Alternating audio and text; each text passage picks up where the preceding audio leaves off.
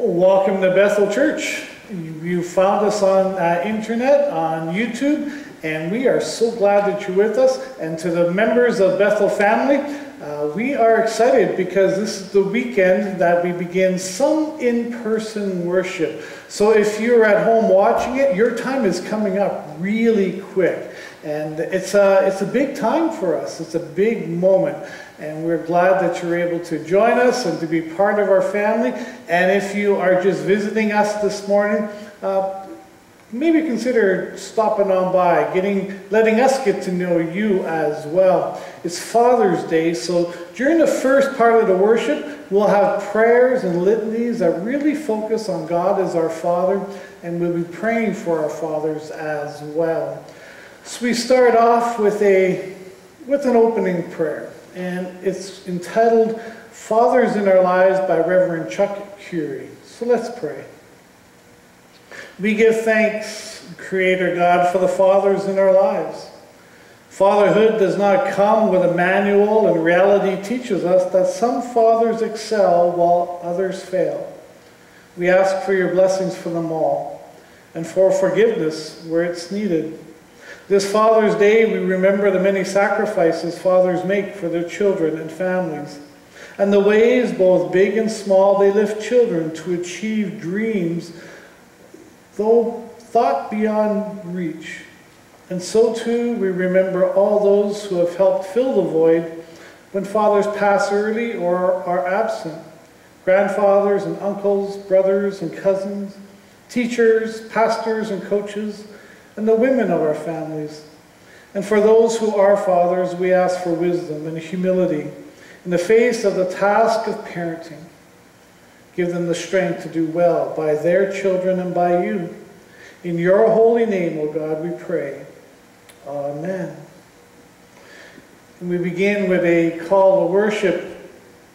And, and God is wherever you are. So if you are going to be worshiping here, uh, God is here. And we, even as we tape this, we know that God is with us right now. But God is there in your homes with you as well. Wherever God's people are, God is as well. So he calls us to worship. Come, sing praises to God. Rejoice in his presence, for he is our God, a father to the fatherless and the defender of all who need protection, the one in whom the lonely find a home and the prisoner finds release. Bless the Lord, the God of our salvation, who sustains and strengthens us day after day. Let's worship God together. And as we worship God, we, we also ask for God's blessing. And God blesses us with these words from Scripture.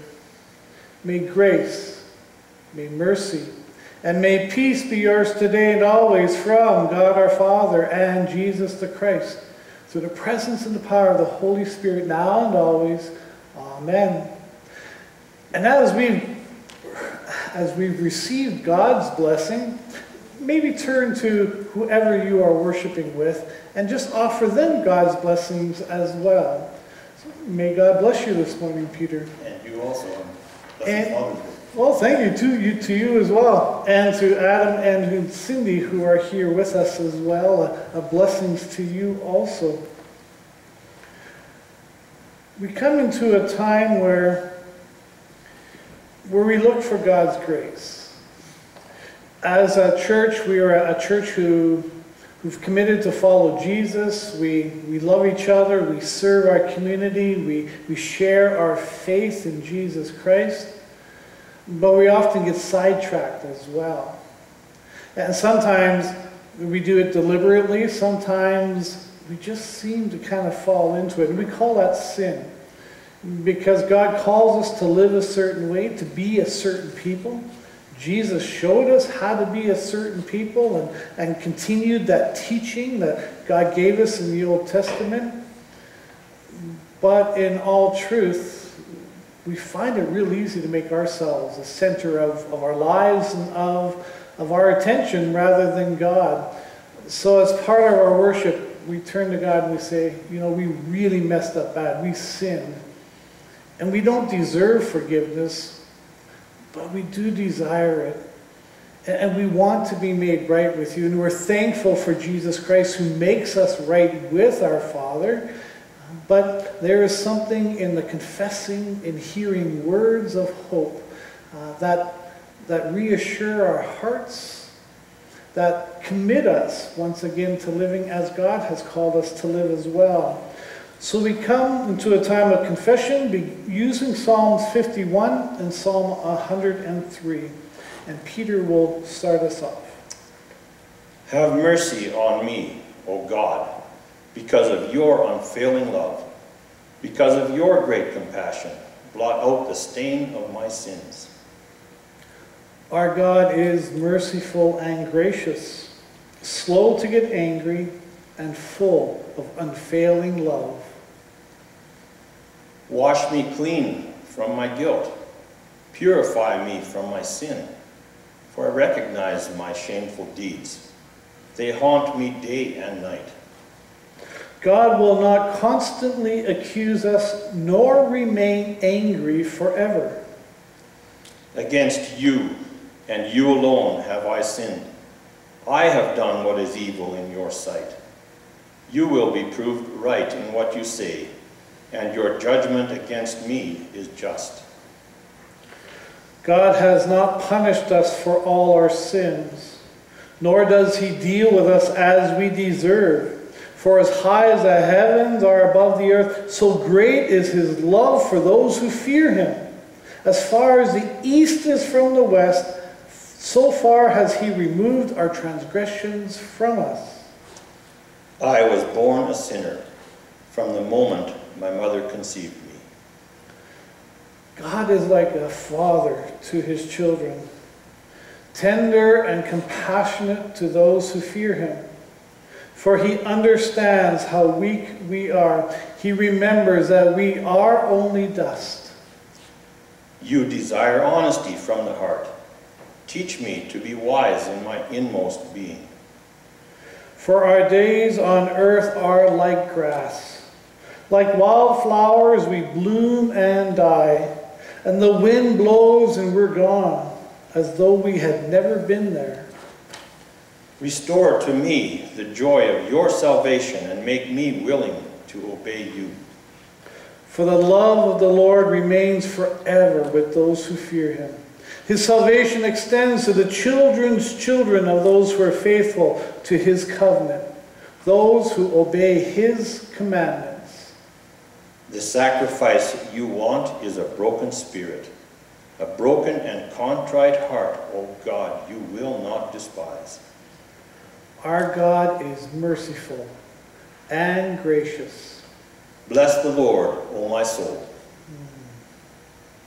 And because our God is so merciful and gracious, because we know in our hearts that we don't deserve it, but it is out of God's great grace and, and love for us out of Jesus' amazing sacrifice that we are made right with God and with each other.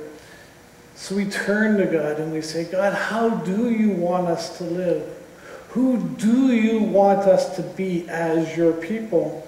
And we find God's law summarized in Mark 12 by Jesus. Love the Lord your God with all your heart, and with all your soul, and with all your mind, and with all your strength.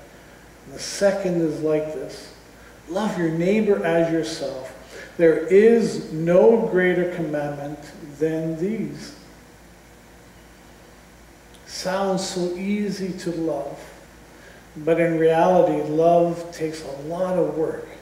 It takes a lot of commitment.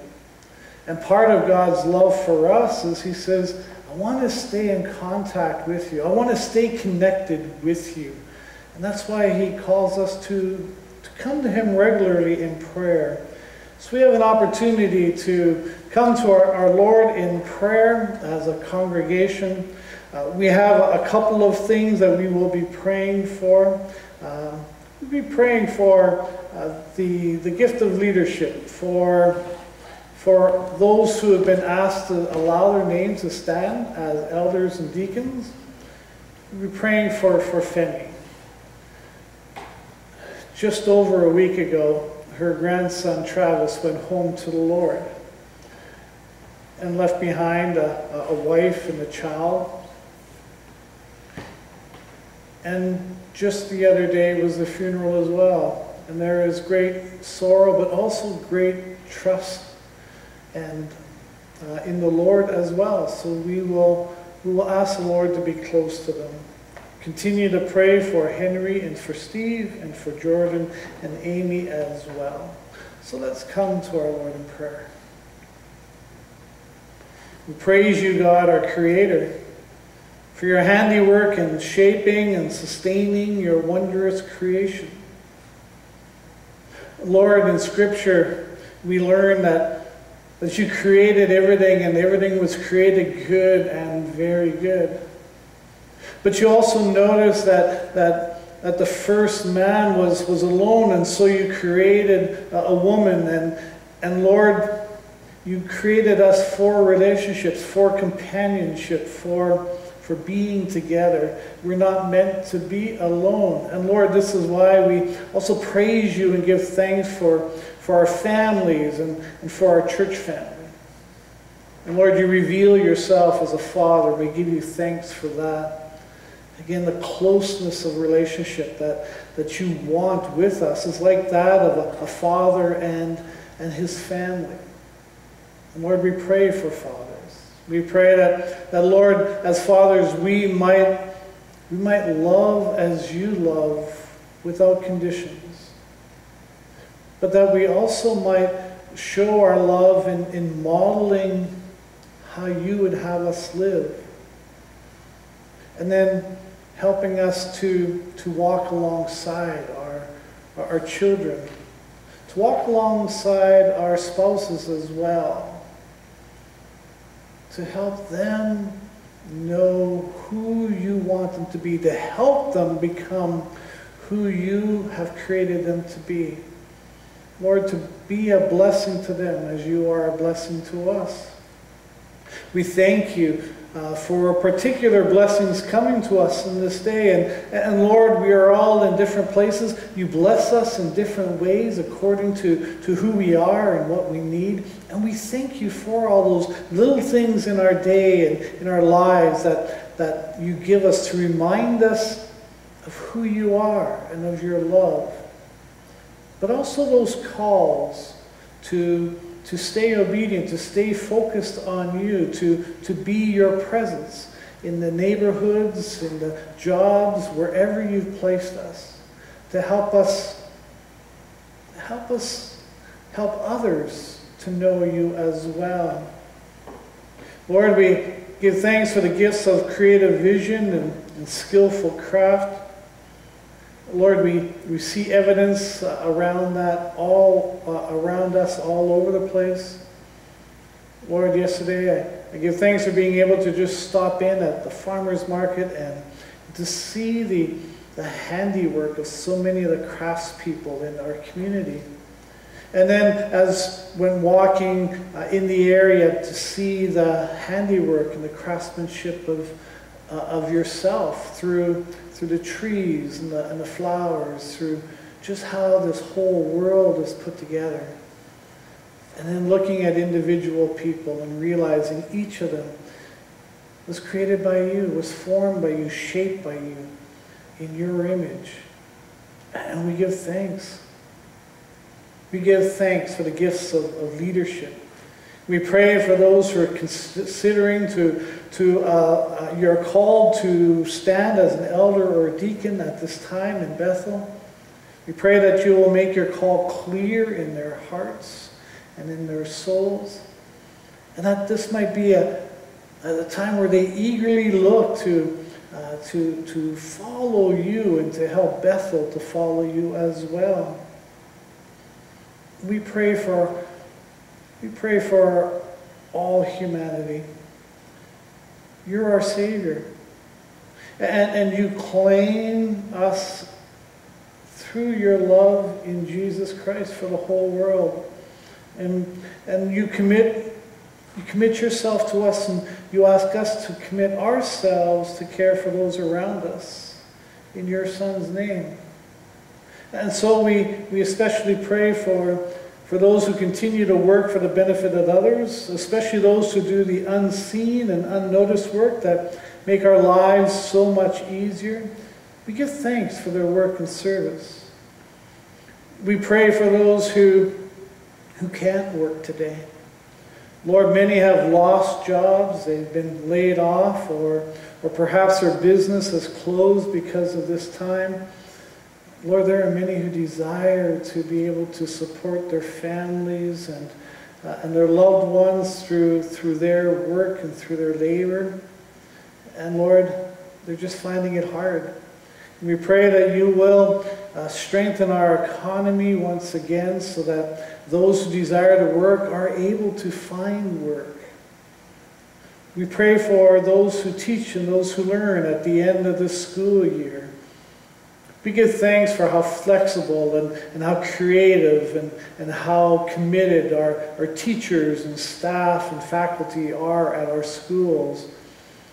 And Lord, we, we pray that as they enter into a time of rest, a time of looking ahead to, to next fall already even, that this will be a time of rest for their souls, a, a time where you pour into them and they may come to know your presence and they may, they may also be inspired by, by you as well. To, to know that you have used them in a special way to be a constant presence in the students' lives, to be a presence of hope and of, uh, of caring.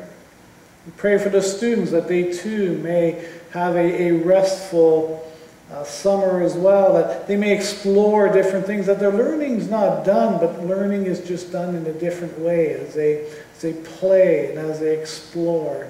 And as they learn more about you through the creation and through the people around them. Pray for the poor. There are many who are struggling now. We pray that we may have eyes to see and, and, and ears to hear and hearts to respond as a church community uh, to those in, in our community that you've placed in our lives, that we might be, that we might reach out with your, yeah, with your blessing, with your help. Lord, we don't always need to wait for them to come to us. Lord, may we be proactive as your people in our community. We pray for those who are sick and suffering. We think of Femi and, and her family especially as as they mourn the, the, the, the death of, of Travis. And Lord, they're comforted by knowing his love for you and his commitment for you. And that gives them a sense of peace, but Lord, there's still that loss, there's still that hurt. So may you fill them and surround them with your comfort and with your peace. We pray for, for Henry and Steve and for Jordan and Amy. Lord, you know what they need. We, we hear good news from Henry and from Steve. And Lord, we wait with eagerness for the child of, of Jordan and Amy. We pray for those who, who live in fear and who are in difficult relationships. We ask that you use us to be a place and a people of safety and hope. We pray for those who are kept on the fringes of society and ignored, or even worse, they're persecuted or abused. We pray for a society that honors all members, that, that we might be a society that values justice and respect for all people. We also pray that we might be a, a society that focuses on enabling and supporting and building up uh, each member so that they might be who you've created us to be. God, you're our creator. Yours is the morning and yours is the evening. Let Christ, the Son of righteousness, shine forever in our hearts and draw us to the light of your radiant glory. We ask this all in the name of Jesus, our Lord and Savior. Amen.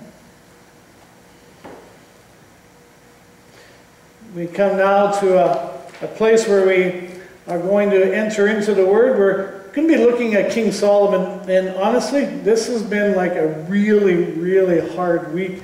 Uh, kind of looking at King Solomon, uh, the amazing man he was, but also what happened to him at the end of his life. So we'll start off with a children's message. I'm going to show you a, a few things here. Got a pair of hockey gloves here. Now, I, I've been a goalie. I love being a goalie, but I don't have time to play for a team so much. So a couple years ago, I invested in just a regular hockey stick and a pair of gloves so that, you know what, I love going to the ponds and, and I love going onto our road and our driveway and, you know, just kind of doing some stick handling, playing a little shinny in that. And you know what? When I come here on Sunday mornings in the winter and I drive by Cranna Lake, I see all these, all these young people playing hockey, playing shinny. And there's so often I wish, ah, oh, you know what? I wish I could play too. I wish I could just take my stick and my gloves and, and I could just park there and, and I could just put on my skates and I could just play with them and, and spend time with them. And even though I'm going to church to worship God, I'm, I'm still saying, you know what? I'd rather play hockey sometimes. Now, I know it feels like it's winter a lot here, but we actually have summertime as well. So I also, I also really love fishing. Even yesterday afternoon, I was at Burbank Hall and, uh, and throwing a, a lure into the water and trying to catch fish. Didn't catch anything. I'm not having much luck here in Alberta. But I love fishing. And again, some of the best fishing is done in the morning before it gets too hot. And again, there are days when I'm coming to church and, and I'm going, oh, it'd be so nice to be on my canoe or to be on the riverbank and to just do some fishing. What happens though is that as we focus on what we want to do, we focus on all these great things, and, and fishing and hockey are, are good things, they're fun things, and, and I'm sure you have lots uh, of good things as well in your life. Sometimes the good things in our lives can become small gods for us, and they become more important to us than God does. And I don't know the things that, that, that you love to do, but sometimes we have to say, God, thank you for these blessings. But please don't make them so important in our life that we forget you. Because that's what happened to King Solomon. He had so many good things, but, but he began to like them more than he liked God. And that led to our story today that we're going to look at.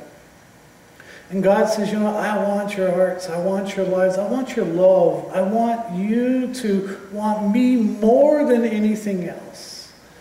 So I'd encourage you to talk to your moms, dads, grandmas, grandpas, aunts, and uncles, and, and people that are important in your life, and you know, talk to them about you know how hard it can be sometimes to to to love God more than the stuff God gives us. How easy it is for us to love the good stuff God gives us, sometimes even more than God.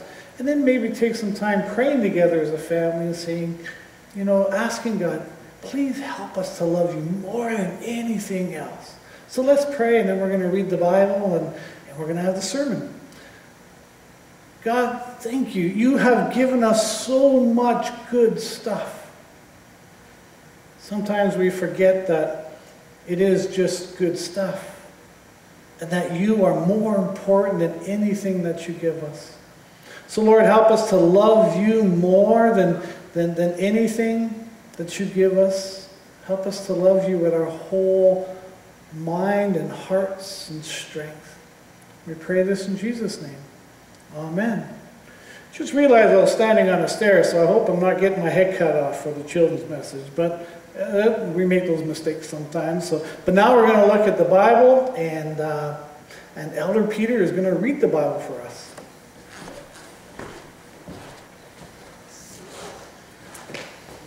God's word comes to us this morning from uh, 1 Kings, 1 Kings 11, verses 1 through 13. And this section is entitled Solomon's Wives.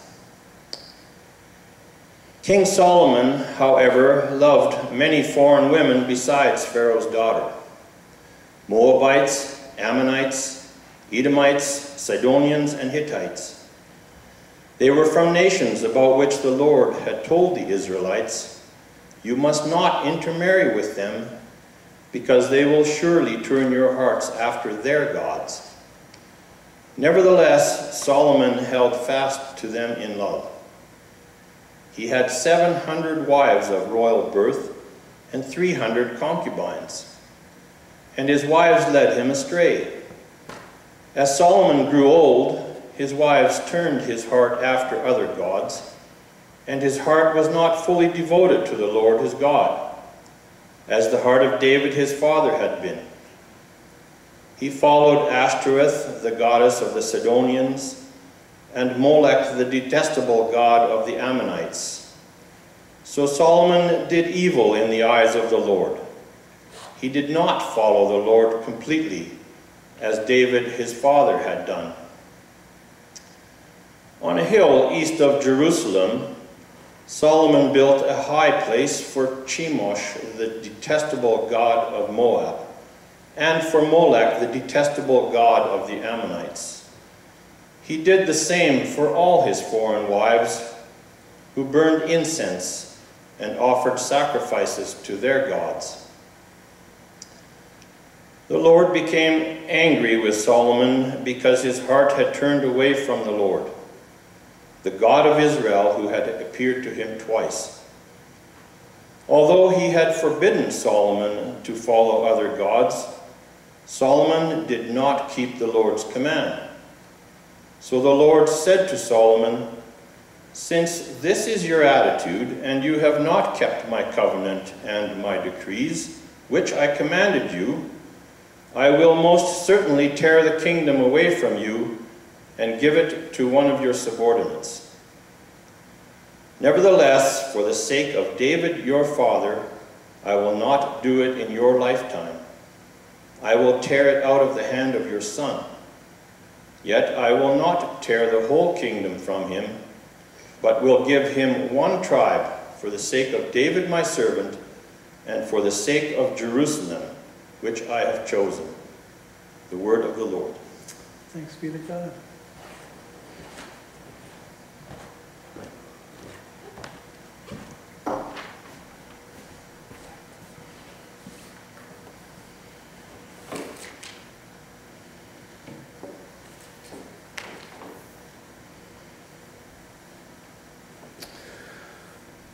Father, thank you.